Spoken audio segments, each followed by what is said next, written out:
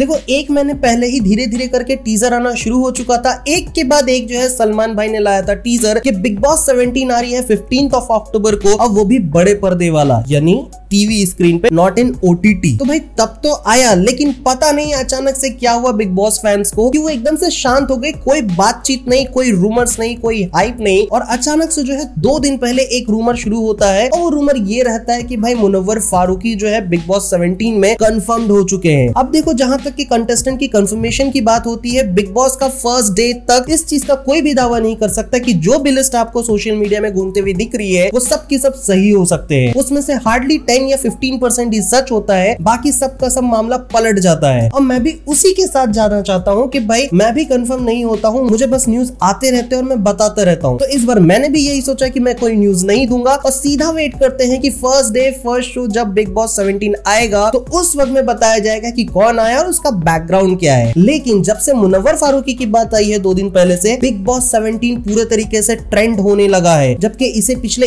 एक महीने से ट्रेंड होना चाहिए था कंटिन्यू बिग बॉस फैंस की अगर बात की जाए तो यहाँ पे बहुत बड़ा डिसकंटिन्यूटी हो चुका है कि उनका बात करना, उनका टॉक ऑफ़ द टाउन होना था ही नहीं। बट बट बट यहाँ पे आ चुके हैं Munawar Faruqui the most controversial बंदा in the social media as a stand up comedian वो भाई साहब की रूमर से चल रही है कि वो कंफर्म हो चुके हैं। साथ ही साथ उनके एक वीडियो और वायरल हो रहा है, जहाँ पे वो कह रहे हैं कि बिग बॉस 17 नहीं आ सकता मैं। हो सकता है कि आप लोग सोच रहे हो कि मैं आपका वो साइड 24 घंटा 24 फोर इंटू देखना चाहता हूँ, लेकिन भाई और भी सारी चीज़ें लाइनअप होती है, बहुत सारी चीज़ हमारे पास पड़ी हुई है जिसपे काम करना है और उन सब चीज़ों को तोड़ करके बिग बॉस 17 पे नहीं जा सकता। अब अगर इसकी ऑथेंटिसिटी पे जाओ तो भाई ये उस वक्त का वीडियो है जब लॉकअप सीज़न आया था, जब उस वक्त में मुनवर फारूकी जीत चुका था। उस टाइम का एक वीडियो था जब लोग ये सोच रहे थे कि अब नेक्स्ट स्टेप जो होगा, वो सीधे बिग बॉस 17 में होगा। By the way Munawar Faruqui ने कह दिया था एक बार अपने रैप में कि अब मुलाकात होगी नेटफ्लिक्स पे, तब तक के लिए शांत बैठ, कुछ ऐसा था। लेकिन फैंस ने इस बार ट्रेंड करवा दिया है कि नेटफ्लिक्स पे तो मुलाकात होगी। लेकिन फ़िलहाल के लिए बिग बॉस 17 तक वहीं पे एक दूसरी ऑडियंस है जिसका ये कहना है कि मुनवर फारूकी जैसे इंसान को बिग बॉस 17 पे नहीं आना चाहिए, जो कि बहुत ज़्यादा हिंदुइज्म के ऊपर में पोक करता है, पोकिंग जोक करता है और उसकी बेजती करता है। अपने आप को जो है बहुत ही ज़्यादा सिंपथाइज करके दिखाता है और उसकी इस्लाम को जो है बहुत ज़्यादा सपोर्ट करता है। बाय द वे इस टॉपिक पे मैं कुछ नहीं बोलने वाला हूँ। आपकी क्या राय है about Munawar Faruqui and being a contestant in Bigg Boss 17 what do you think वो क्या करने वाले रहेंगे अगर आते हैं तो? बाय द वे ये